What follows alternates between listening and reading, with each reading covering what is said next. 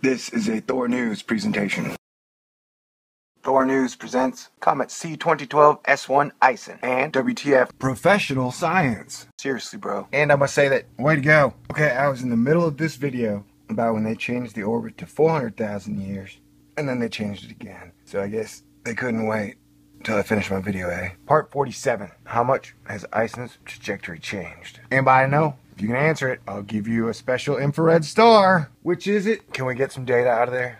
Professional science. Change the orbit to 400,846 years. Professional science. We're all in this together. Right. Right on, right on. It'd be a lot cooler if you did. This episode is to be continued because NASA screwed it up by just now changing the orbit to like 580,000 also, reports are coming in fast and furious that Ison has disintegrated and is totally dead. And it hadn't even reached the sun yet. People are saying there's no way it's going to make it. Well, that's interesting, huh? It's all very interesting. It's interesting that they're changing it so much. All right, to catch up to speed, even though the stories are now moving at almost light speed, or at least faster than life speed. Originally, Comet Ison's orbit was not available. Then, they changed it to 10,000 years.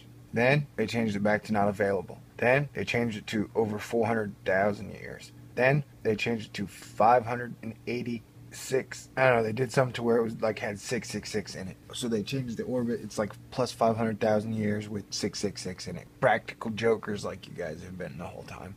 Professional science. It's interesting that they're changing it so much. The mantra for comets is we'll have to wait and see. Can we get some data out of there? Can you guys? The big question is, how much has the trajectory changed? Has it changed at all? Can we even tell? Does anybody know what's going on? I'm sure it's changed a little maybe a bit. Does anybody know? I tried to ask for some super science guy that's making fun of me. Oh, Mr. Comet Expert, you should be able to do the math to tell us exactly how much the trajectory has changed. I guess he doesn't realize it. I don't think just because you have a calculator makes you the king of all heavenly celestial mechanics. Alright? So, if anybody would like to put out an orbital or trajectory change any more than JPL has, love to hear it. Ideas, love to hear it. So, who knows what is going on? Maybe they will explain the perturbations to be continued, for sure. Well, Phil Plait says that right now there's no way to know, which is interesting and awesome. He also goes on to state the mantra for comets is we'll have to wait and see. So I'm kind of impressed with science that they're growing up a little and they're admitting that they're not perfect and they do not understand everything. Proud of you, science. All right. Another thing, a lot of people started poo pooing in their short pants because apparently 400,000 years ago was when the last ice age started. Or if you look at the stories from 2010, it's when the first human beings were found to have remains from a cave in Jerusalem, Nazareth. So, you know, even if Ison brings an ice age, our government has guaranteed us the ice age will not hurt anybody. It'll be a good ice age. It will probably counterbalance the global warming and comet Ison will solve the global warming. Comet Ison will solve the global warming problem. And that government will have to figure out another way to mandate carbon tax credits, which I guess is tax for breathing. Does anybody else think it's weird that science is like, oh my god, human beings are killing the planet with global warming? But then science is like, hey, it is totally cool if we suck out one quadrillion square miles, square feet of cubic feet of oil from the middle of our planet. You know, that's weird. We're still not worried at this point. The only thing I even remotely worry about is the dust. Nobody likes to do the dusting, so we don't want Earth to get double dusted or single majorly dusted. All right, that's it. That's it's always been the dust. So I don't think Ison's gonna pop and hit us. I mean, even if it was, we still got like a one in twelve hundred chance, right? Wait, no, flip that. So I don't know. By the time I get off work, maybe the orbit will change again. See if you guys can find out. A, has the trajectory changed? Though even if it had, I don't think anybody will tell us. That seems kind of moot. B, ask them. Hey, Phil, where did they get that number? And if you trace it back to that exact spot, is there anything there? Like Starbucks, a booby bar? Uh, Perihelion, guys, two days away. Less than 72 hours, less than 48 hours. I don't know. I can't do this. It's real close. Okay, exciting stuff. I can't believe this stuff like keeps just getting. All right, you're with me. Excellent. And that is enough. All of a sudden, Amy Mainzer, who I couldn't get to talk to me or about Ison for months, up until I got blocked Now all of a sudden she's talking about Ison everywhere. People keep telling me she's on the TV talking about it. She's Twitter tweeting it all over the place. Ison this, Ison that. Something perturbed Ison. What is going on, man? You got Karl Battams putting out a Mayday, Mayday. Okay, that was my interpretation, but that that's what I interpreted. You got awesome pictures that are showing Ison to be like super duper ginormous, bigger than everything you can imagine in our solar system. It'll be a good ice age that will probably counterbalance the global warming, and comet Ison will solve the global warming. Comet Ison will solve the global warming problem. And seriously, Amy, I know you probably never ever have time for Thor news, if you ever meet somebody who has watched Thor news or has the ability to tweet you, can one of those people please ask her what she thinks perturbed Ison into action and motion? What heated up Ison's engines and made it just go towards our sun? Like a sperm to an egg. She can come up with a better analogy, she's more than welcome. And I'll start using that one. I want to know what does she think perturbed it?